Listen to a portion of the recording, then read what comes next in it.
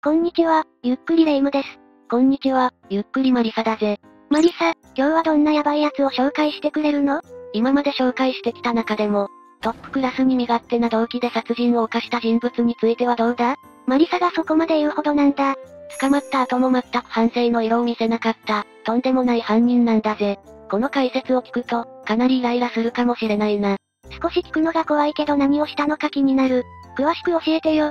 よし、なら今回は、藤沢市親子ら5人殺害事件と、犯人である、藤間聖波について解説していくぜ。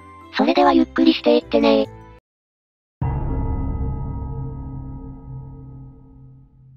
これはどこで起きた事件なの？神奈川県の藤沢市だな。まず1981年5月から8月までの間、藤間聖波は、犯罪者仲間であり、後の被害者でもある男、平山克美と二人で、ひったくりや事務所荒らしを繰り返すんだ。それで得たお金を生活費とし、共同生活を送っていたんだぜ。いきなりひどいことをしているね。どれくらい盗んだの？合わせて7件のひったくりと、1件の事務所荒らしを行っていて、被害額は、145万円にも及ぶんだぜ。そんなになるんだ？ひったくりは目撃証言もあるはずなのに、よく捕まらなかったね。藤間は標的を定めた上で、事件の証拠を残さないように行動していたんだ。例えば現金だけを抜き取り、証拠となる財布やバッグは捨てたり、万が一にも現場に残さないよう、身分証を持っていかないとかな。そこまでやってたんだ。その後はどうなったの ?1981 年8月5日の夜、平山が藤間の財布から、現金20万円を抜き取って逃げたんだ。だが藤間は平山を見つけ出し、10月5日までに20万円を返済する。返済しきれなかった場合は、母親が代わりに月々5000円ずつ返済する。という制約をさせるんだぜ。色々と徹底してる性格だね。返済はされたのかな？平山が違法薬物の密輸で稼いだ7万円を取り上げたりと、進んではいたようだな。だが1981年9月頃に、俺が警察に実施したら藤間もおしまいだ。と発言されたことで、藤間は殺意を抱くようになるんだ。そんな理由で？異常だよな。そして凶器をバッグに詰め込んで平山と会い、なぜ金を返さない？返す気はあるのか？と詰め寄るんだぜ。平山はどう返したの？もう返す気はない。これ以上お前とは付き合いたくない。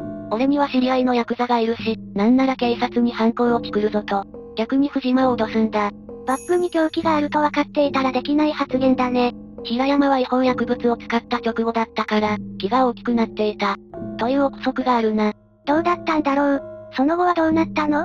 藤間はこの発言を聞いて殺意を強くし、人気のない場所へ連れて行って殺害しよう、と考えるんだ。そして人がいない場所に誘う口実として、最後のドライブを提案し、平山をバイクの後ろに乗せて畑に移動するんだぜ。野外で行動に移すんだね。どう犯行を行ったの？まず包丁を持って、ぶっ殺してやると脅し、うつ伏せにさせるんだ。そしてガソリンをかけて燃やそうとしたんだが、雨が降ってたから火がつかなかったんだぜ。焼死なんて残酷なことをしようとしてたんだ。それが無理ならどうしたの？平山が抵抗したから、包丁で足を刺すんだ。その後、俺が悪かった。背負って医者に連れて行ってやる。と謝罪しながら近づき、めった刺しにするんだぜ。油断させたんだね。人の心があるとは思えない犯行だよ。まだまだ序盤だから、この後のことを聞いたらもっと驚くと思うぜ。聞くのが怖くなってきたよ。平山の遺体はどうなったの？そのまま放置していたから、翌朝に住民が発見して通報しているな。ひったくりは計画的だったのにそこは適当なんだ？自暴自棄になっていた可能性もあるぜ。ちなみに藤間は道路を逆走していたことにより捕まり、平山の殺害について疑われたんだ。まだ序盤って言ってたから、犯人だとはならなかったんだね。そういうことだな。警察は平山と喧嘩していた別の人物を最有力候補とし、藤間の母親が事情聴取に対して、息子は平山の死亡推定時刻を含め、事件前夜から自宅で就寝していた、とアリバイを証言したことで解放されるんだ。母親がかばうなんて異常だね。事件を知っていたのかはわからないがな。どうだったのか気になるところだね。藤間はその後どうしたの？しばらくは何もなかったんだが、平山の殺害から約40日後である、11月20日の夕方、下校中の女子高生たちに声をかけるんだ。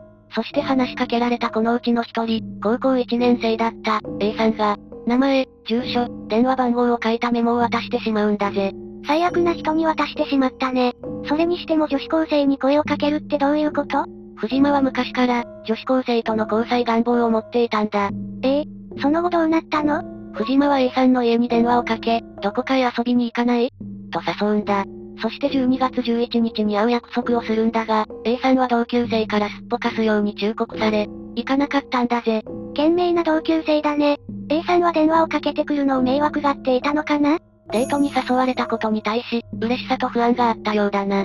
そしてすっぽかされても藤間は諦めず電話をし、今度は実際に会ったんだぜ。かなりしつこい性格だね。その時はどこで何をしたの？遊園地で食事をしたり、ゲームを楽しんだそうだぜ。藤間の本性を知らないと普通のデートだね。A さんも楽しんでいたのかな？彼女にとって藤間は、ゲーム機の操作は上手いが、話題性に乏しい存在だったんだ。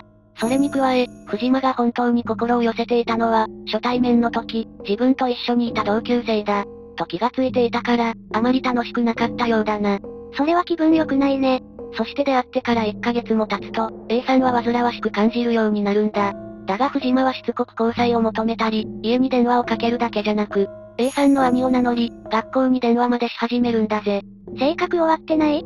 そして A さんは明確に拒絶し始めるんだが、避けられたと感じた藤間は家を訪れ、デートで貸した金を返済しろ、と迫ったり、学校の前で待ち伏せをしたりするんだ。怖すぎるストーカーだね。その後はどうしたの ?A さんの家族を含めた話し合いが行われたんだが、その時に A さんや父親から拒絶されたことにより藤間は逆恨みをし、殺意を抱き始めるんだぜ。どう考えても自業自得だよね自分勝手すぎる性格だな。殺意を抱いたならそこで終わらないと思うんだけど、一体どうなったの？さらにしつこく A さんの家を訪れるんだ。そして彼女の両親から、通報するぞと怒鳴られたことをきっかけに、A さん一家の者たちから、散々馬鹿にされた。A を家族もろとも皆殺しにしてやる、と企てるようになるんだぜ。親が怒鳴るのは当たり前なのに、そうは思えないんだね。自分の行動を客観的に見ることができないんだろうな。そして A さんを襲う前に窃盗事件を起こし、逃走資金として約170万円を奪っているんだぜ。ろくでもないことばっかりしているね。いつ行動に移したの？?A さんと出会ってから約半年後である、1982年5月27日だな。まず藤間は少年院で一緒だった、岸潤太郎を仲間に入れるんだ。少年院に入っていたこともあるんだ。それについては後で解説するぜ。そして午後8時、まず岸が新聞の集金人を装い、A さん宅のチャイムを鳴らすんだ。ついに始まってしまうんだね。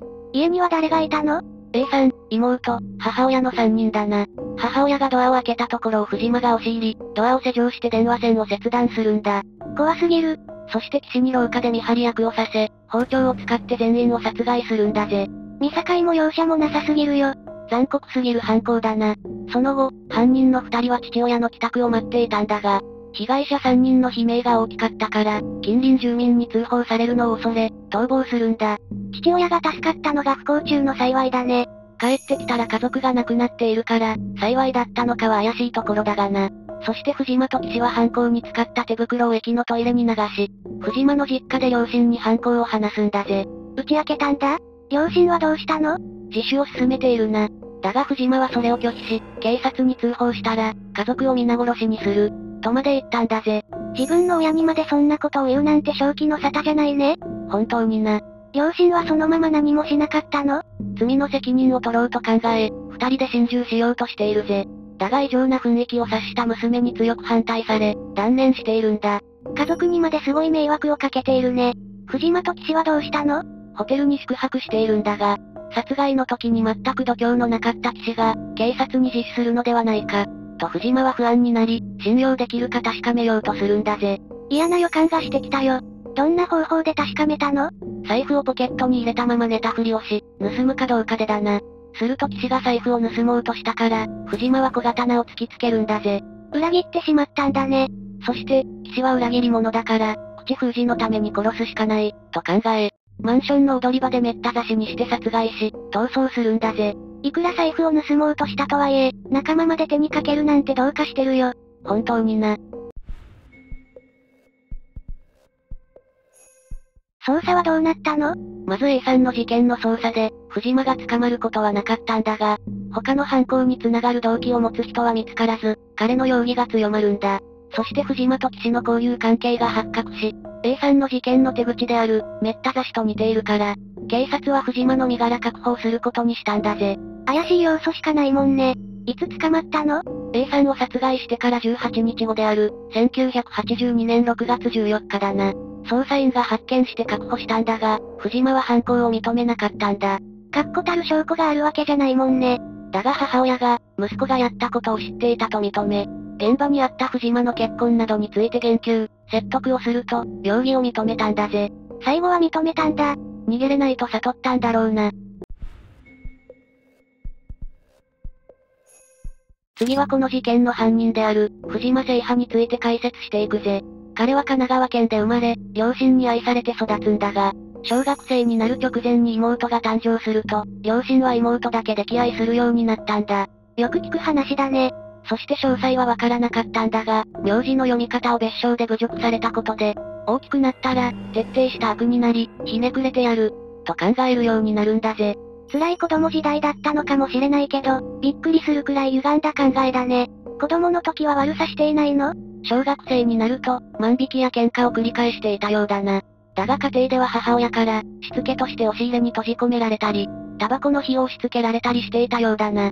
やったことを考えると同情はできないけど、本当に家庭環境が悪いね。でも母親はアリバイを捏造したり、協力してたよね今となってはわからないが、この時の罪悪感があったのかもしれないな。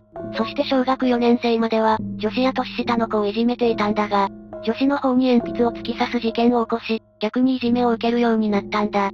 子供の時から自業自得な行動をしていたんだね。中学生になってからはどうだったの？入学してすぐ同級生の間で、藤間を殺す会が結成されたそうだぜ。そして深刻ないじめを受けるんだ。よっぽど嫌われてたんだね。色々と問題があったんだろうな。これに対し藤間は、周囲を見返すために空手を習い始めるんだ。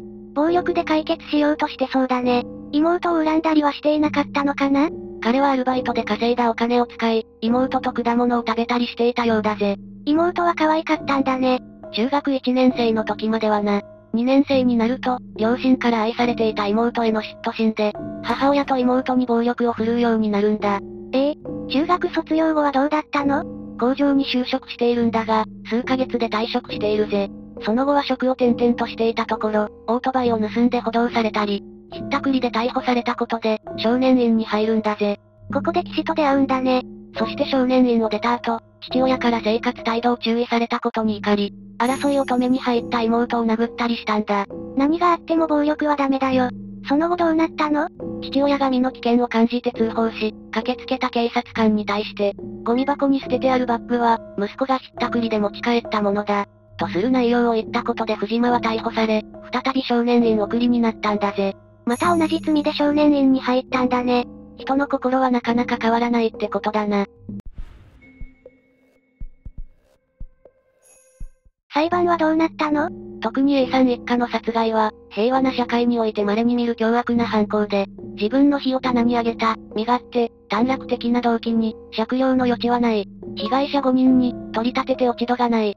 藤間が全く反省していないことなどを理由に、死刑判決が下されているぜ。本当に反省してなかったのかな？